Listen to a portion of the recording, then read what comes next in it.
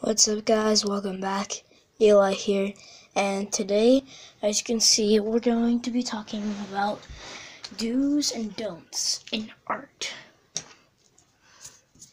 These are just tips, really, on how I personally think could help someone else. For So for those of you who want to learn how to draw, I'm going to do my best to teach you what I know. First thing we'll be talking about is how you would want to draw a manga head and a manga face. Here I'll be showing you what not to do.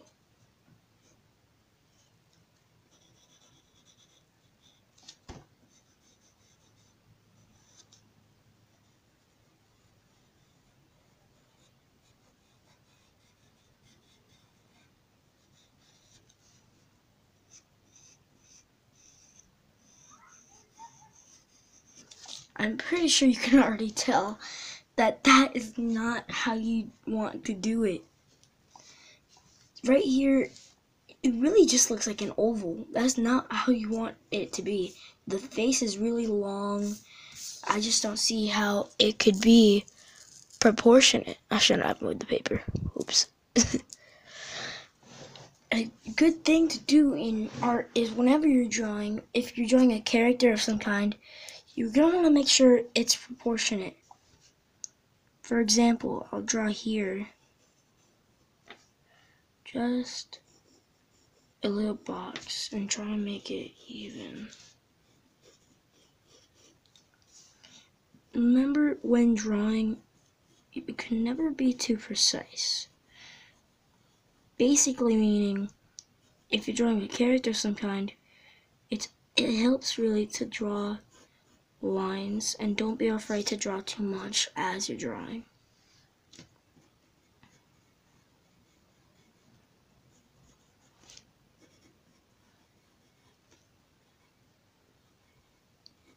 Once you have this basic head shape at the top, just gonna curve it in to where this box stops. And there's your head since you already have your lines ready, since, well, I don't, I'm just gonna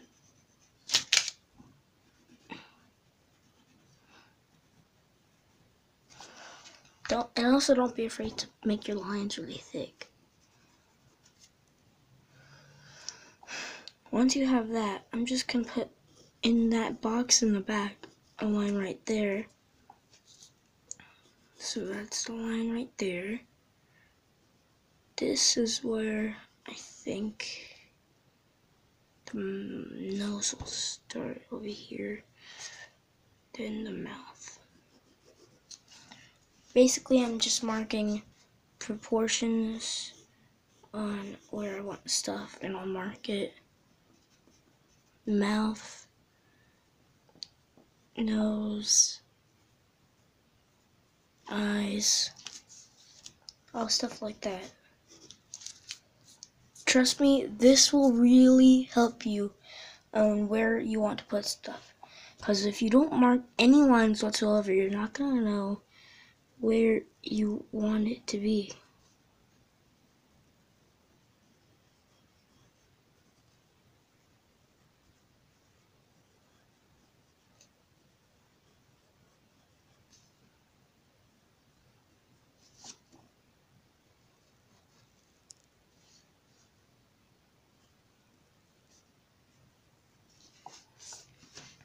That does not look very good.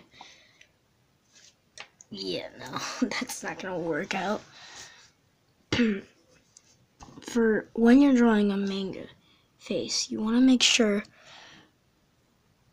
it's proportionate as possible. I'm gonna put the eyes just right here.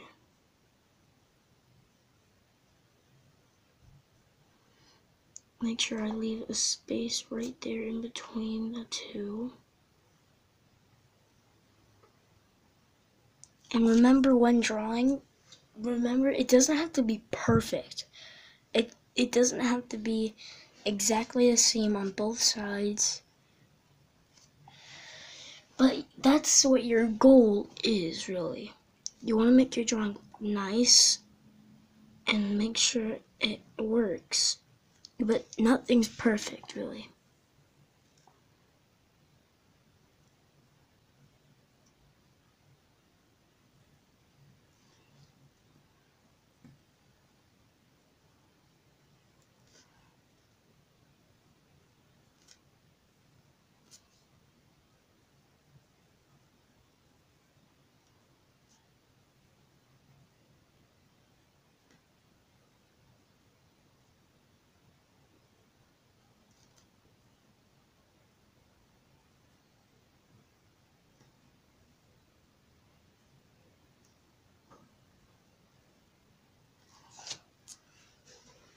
There. I'm just gonna bring this up a little closer so you can see my example. There.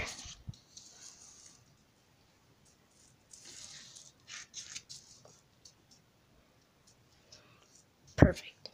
Okay. Up next, I'll be talking about shading.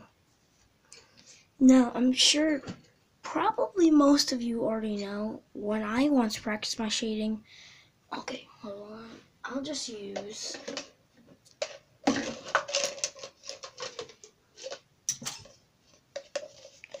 a cut or circle of some sort.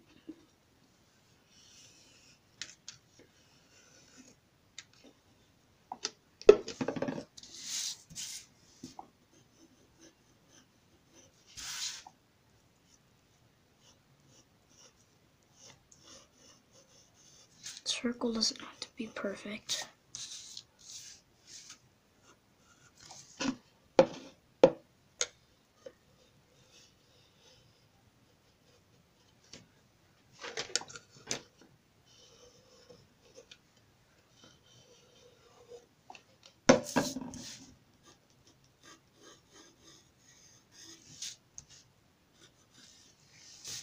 Once you have your circle, you're going to want to mark where the light source is coming from. I'll make sure it's coming from this angle right here. If you can see that. The light is hitting right here at the ball or circle. so you want to make sure you don't do this if the light is hitting from right here, you're gonna think that it's gonna be a little bright right here, right? So don't just do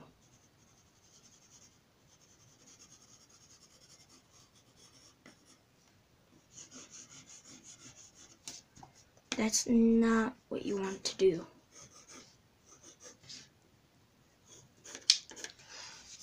The light is hitting.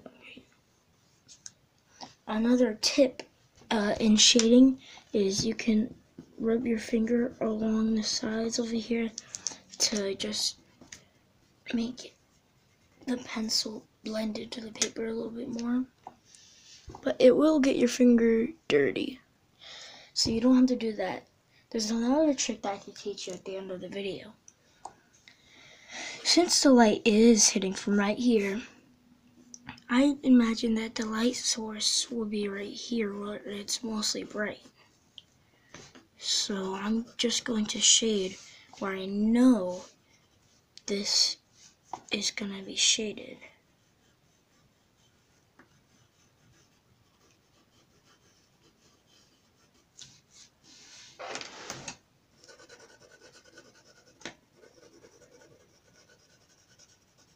There's a lot of different things you can do with lead when it comes to shading.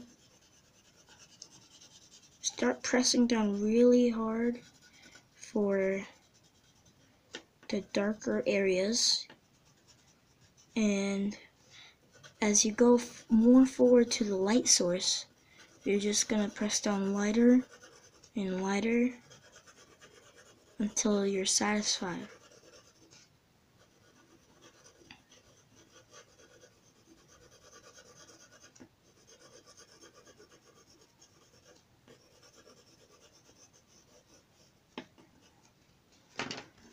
And in this area, you're gonna do where the ball is shaded in.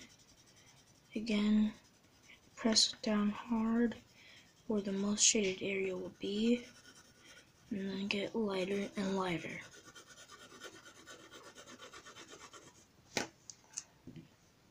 And then just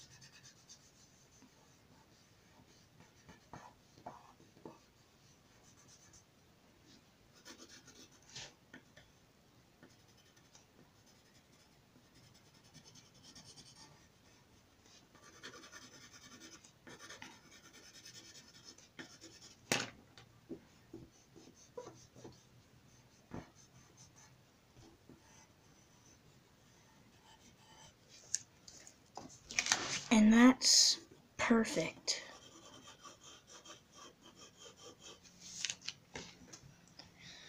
If you want, you can even just erase a little bit, going like that.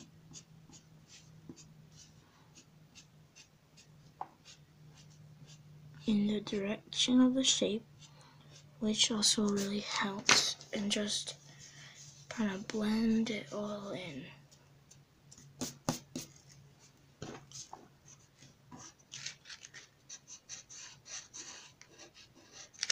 I'm going to erase where the light source hits the most.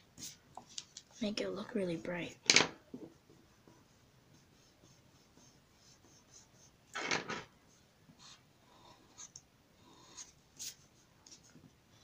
And that's perfect for shading. That's what you don't want to do. Okay, now we're going to be moving on to when you're done with a picture and you're going to your coloring process. So hold on, let me skip forward in the video. I'll just draw uh, something simple. I'll outline it and erase it and then show you what not to do in your coloring process and what you should do. See you in a second. I'm not done with the drawings yet, but I was drawing this and I decided since I'm drawing a picture of Goku, I might as well show you some basic tips and basic things you want to do if you're drawing um, in an anime style. You're just going to want to draw where his shoulders are marked, and as you can see, that's not very proportionate, so I'm just going to fix that to where I'm satisfied.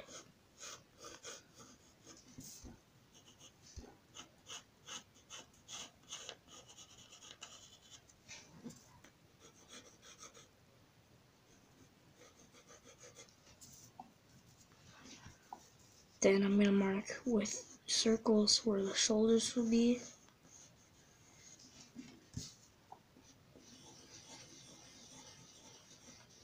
Doesn't have to be perfect, and just mark lines for the arms. Got the neck. Now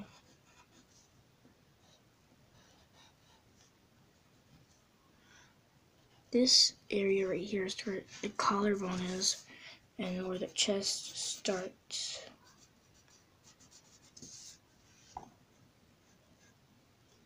I'm just mark this shoulder a little closer.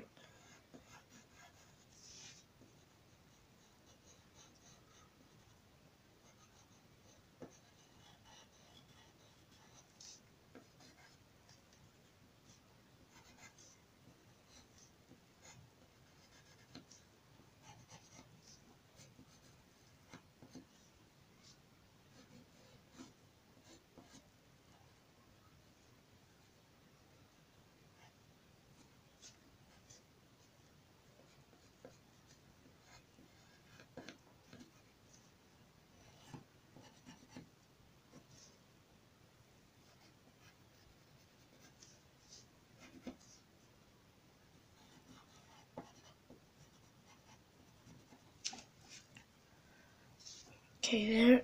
I'll just skip forward now. Okay, now that I have these little sketches down, I'm just going to erase some of the lead, which is another thing you really want to do if you're using really Copic markers, but I guess this could go for anything else because you want your picture to look nice and you don't want any lead in the background, do you?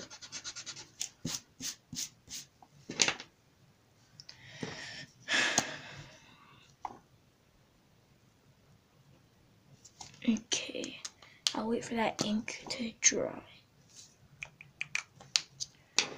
Now, this is absolutely my worst nightmare that I'm doing right now. See all these lead marks I have on this one on the don't do? Well, exactly what I said not to do a minute ago, I'm going to do. And I really hate myself for doing this. Because I'm risking one of my markers. What will I use? What do I not need? I'll use acid yellow. Well, no, I gotta use the skin color because he has skin color. I don't want to risk any skin colors because you guys know I run out of skin colors really easily. I'll use EO2 Fruit Pink.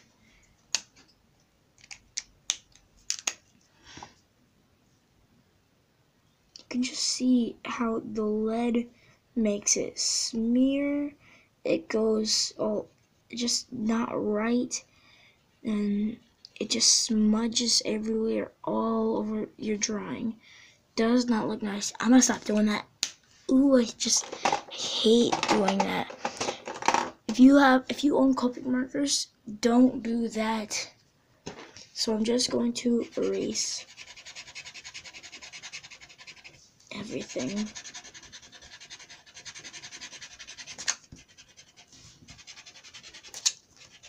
And when you're erasing, erase as best as possible. You don't want it to smear.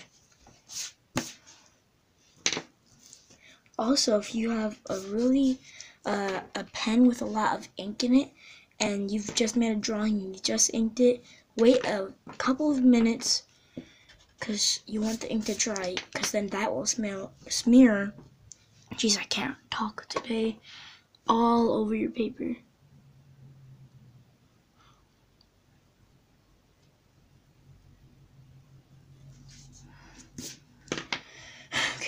Now that I have that, something, okay, let me get the same marker, EO2.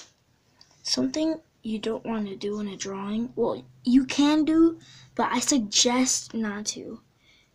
Here, look at what I'm doing. I'm just coloring all over, not being precise. I'm going outside of the lines. It's a real nightmare.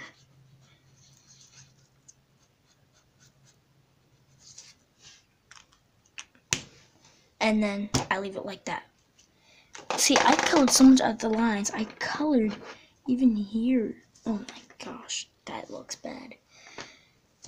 Now that I have the don't do out of the way, I'm going to show you what you want to do in your inking process. I'll use a different marker for this one. I'll use E21. When, if you do have Copic markers, you can just barely graze in the darkest areas. They're gonna, oh wait, did I not erase? I think I did. Remember, erase really good. You don't want to see any lead. I'm just barely grazing my paper from the darkest areas to the lightest area.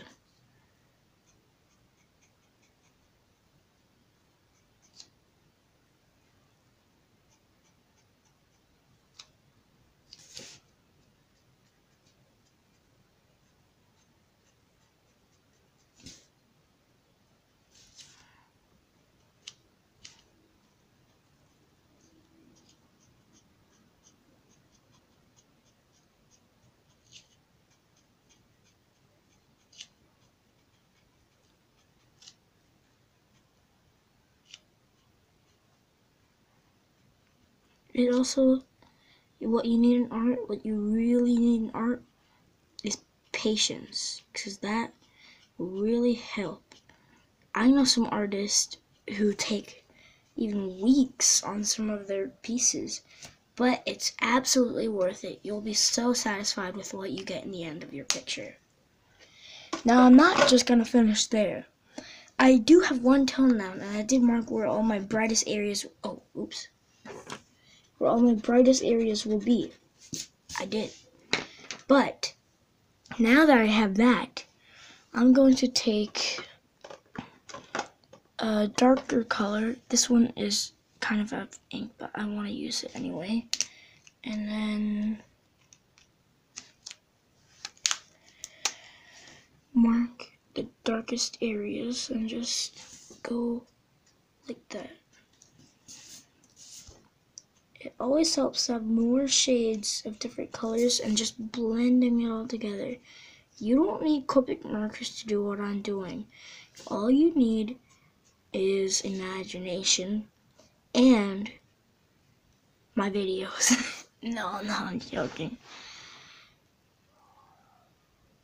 And once you mark in the darkest areas, you'll know what what light source is coming from. Remember when we talked about shading.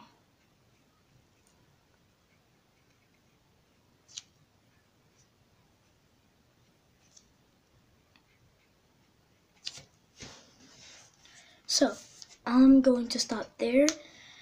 Uh, I hope uh, this video helps you in any way possible with your art. Because that will be really nice to know that I help someone with their art. Uh, comment down below any drawings or any video requests that you want me to do.